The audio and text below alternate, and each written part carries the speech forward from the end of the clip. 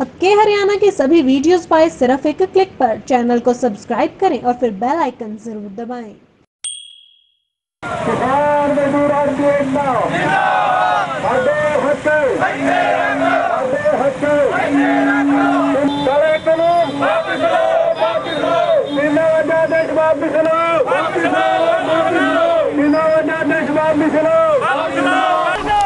नमस्कार, स्वागत आपका के हरियाणा पे मैं हूँ आपके साथ रमेश जाखड़ और इस वक्त मैं मौजूद हूँ सिरसा के लघु सचिवालय में, जहाँ पे किसान जो हैं जिला सिरसा के तमाम किसान इकट्ठा होकर के यहाँ पे पहुँचे हुए हैं। सरकार ने जो तीन अध्यादेश जारी किए थे, उन तीनों अध्यादेशों को वापस करने की मांग को लेकर के लगातार किसान जो है, वो धरना प्रदर्शन कर रहे हैं और आज जो सिरसा के लघु सचिवालय में डीसी महोदय को, उपायुक्त महोदय को ज्ञापन सौंपने के लिए तमाम सिरसा जिला के किसान जो हैं, वो इकट्ठा हुए हैं। इनके साथ साथ अगर बात करूँ तो पीटीआई अध्यापकों का समर्थन भी किसानों को अच्छी तरह से मिल रहा है। सामने तस्वीरों में आप देख सकते हैं कि किस प्रकार से महिला व पुरुष पीटीआई अध्यापक जो हैं, वो यहाँ पे किसानों को समर्थन देने के लिए पहुँचे हुए हैं। तो कुल मिलाकर के कहूँ तो क्योंकि किसान परिवार से ही वो तमाम पीटीआई अध्यापक संबंध रखते हैं कहीं ना कहीं तो ऐसे में तीन जो अध्यादेश सरकार ने जारी किए हैं, उन तीनों अध्यादेशों को वापिस करने की मांग को लेकर के लगातार जो है किसान विरोध प्रदर्शन कर रहे हैं। पर अब अगर आज की बात करूँ तो यहाँ पे सिरसा, डवाली, रानिया एलनाबाद चोपटा बड़ागुड़ा, ओडा तमाम खंड के जो किसान हैं, वो यहाँ पे इकट्ठा हुए हैं रोस मार्च करने के लिए और राष्ट्रीय किसान संगठन के बैनर तले किसान विरोधी तीनों अध्यादेशों को वापस लेने की मांग को लेकर के और इसके साथ साथ अगर बात करूँ तो डीजल, पेट्रोल को भी जीएसटी में शामिल करने की मांग को लेकर के ये तमाम किसान जो है, यहाँ पे लगातार धरना प्रदर्शन कर रहे हैं। मुर्दाबाद काले कानून वापस लो वापस लो वापस लो किसाने हल्ला बोल हल्ला बोल हल्ला बोल साडा हक काले कानून वापस लो वापस लो वापस लो ਕਰਨ ਨਹੀਂ ਸੀ ਗੁਰਮੇਲ सरकार मुर्दाबाद मुर्दाबाद मुर्दाबाद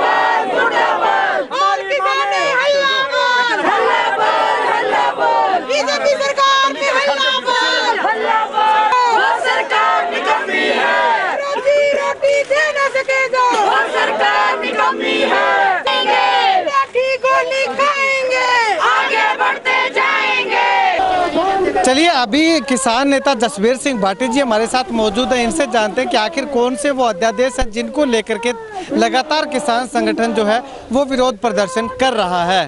देखिए अध्यादेश अभी लाई है सरकार पर इससे पहले किसान है मजदूर है व्यापारी है आड़ती है कर्मचारी है पिछले सत्तर सालों से देश की सेवा कर रहा है। आज किसान को, व्यापारी को, मजदूर को एजिटेशन करनी पड़ रही है, क्यों करनी पड़ रही है? और उसके खिलाफ ये सरकार के जो ज़्यादा बड़े गुलाम और चमचे हैं, वो ज़्यादा किसान के रहने वाले सरकार के, वो कहते हैं किसान गदार है। सबसे पहला जो अध्यादेश सरकार हमारे साथ लेके आई है, तैतीस, पैंतीस नंबर तैतीस नंबर है।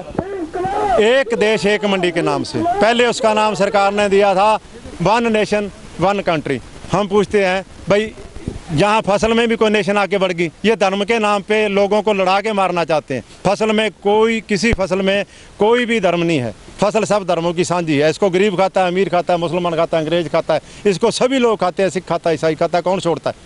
ये अनाज को सब लोग खाते हैं ना।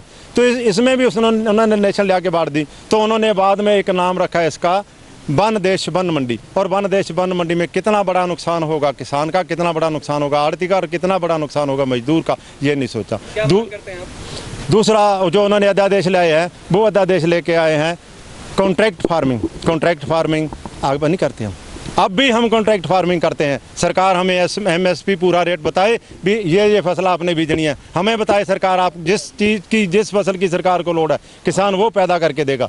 पर ये नहीं है भी हमारा एमएसपी तोड़ दो। इन कानूनों से एमएसपी खत्म हो रहा है। इन कानूनों से मंडियाँ खत्म हो रही है। मंडियाँ किसान के पैसे से बनी है। मंडियाँ से गवर्नमेंट के पैसे से नहीं बनी। तीसरा। तीसरा कानून है जो उन्होंने सबसे बड़ा गरीब पे मार किया है। आम जिम आम का जर, जो नागरिक है उस पर वार किया है। वो वार है जो सबसे स्टॉक सीमा तोड़ी गई है। सब सब फ़सलों पे स्टॉक सीमा तोड़ दी। कोई कितना स्टॉक करे कितनी फ़सल अपनी वो जमा कर ले।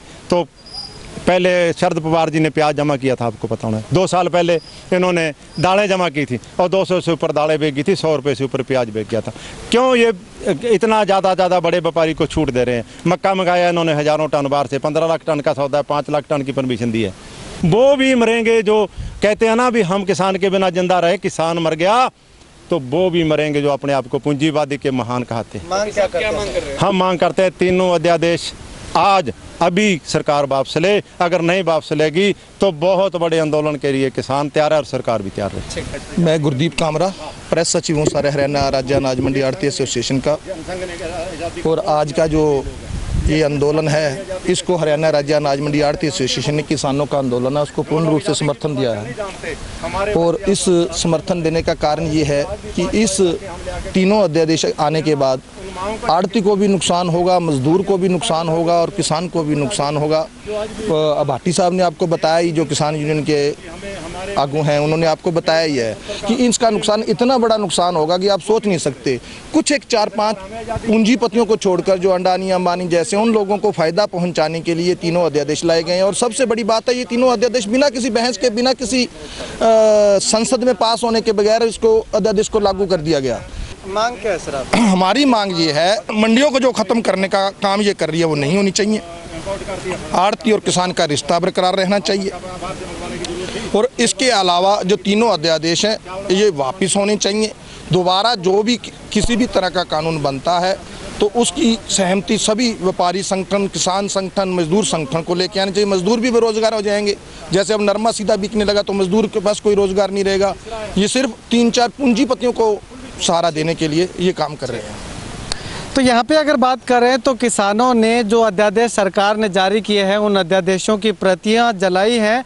इसके साथ साथ बात करूँ तो किसान जो संगठन है, उसके साथ साथ आड़ती एसोसिएशन ने भी किसानों के इस प्रदर्शन में बढ़ चढ़ करके हिस्सा लिया है और आड़ती एसोसिएशन और किसान संगठन का साफ़ तौर पर कहना है कि अगर सरकार इन किसान विरोधी नीतियों को वापस नहीं लेती, इन किसान विरोधी अध्यादेशों को वापस नहीं लेती है तो एक बहुत बड़े आंदोलन की ओर दोनों जो संगठन है, वो अग्रसर होंगे और इसकी पूरी पूरी जिम्मेवारी सरकार की होगी। खैर, आने वाले वक्त में पता चलेगा कि आखिर किस प्रकार से सरकार इन अध्यादेशों को वापस लेती है या फिर किसानों के अनुसार किसान विरोधी अध्यादेश या किसानों पे ज़बरदस्ती थोपे जाते हैं। कैमरा सहयोगी सुनील के साथ रमेश जाखड़ के Haryana. New Durga jewellers Sirsa. खारिया वाले प्रभुजी सोनी व पीली मंदोरी वाले सज्जन सोनी का भारत सरकार द्वारा मान्यता प्राप्त मशहूर hallmark jewellery showroom. New Durga jewellers Parshuram Chowk, Sirsa. अधिक जानकारी के लिए संपर्क करें नौ आठ एक तीन नौ तीन दो शून्य शून्य एक या नौ चार छ छः छः नौ सात दो एक सात।